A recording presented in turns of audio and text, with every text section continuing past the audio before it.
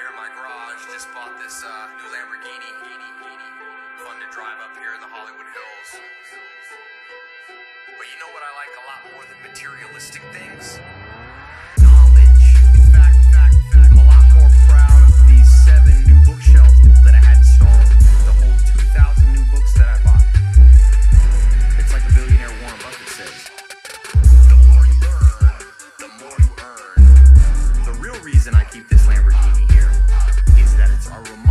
That dreams are still possible because it wasn't that long ago that I was in a little town across the country sleeping on a couch in a mobile home with only $47 in my bank account.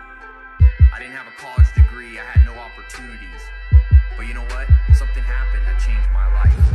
Now, I'm gonna tell you the secret so that you can buy a Lamborghini too. You wanna know what it is?